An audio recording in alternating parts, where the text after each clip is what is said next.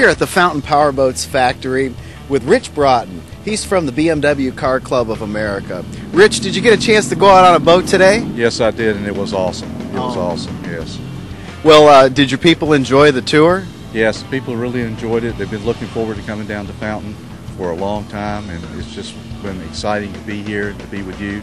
And Gary, I just want to thank you for letting us come and, and putting on really one of the most exciting mornings of, of our lives.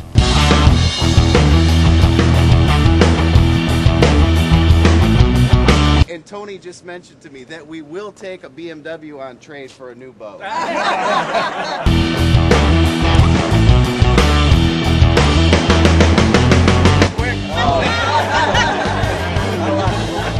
put another piece of bracket on the outside and we weld.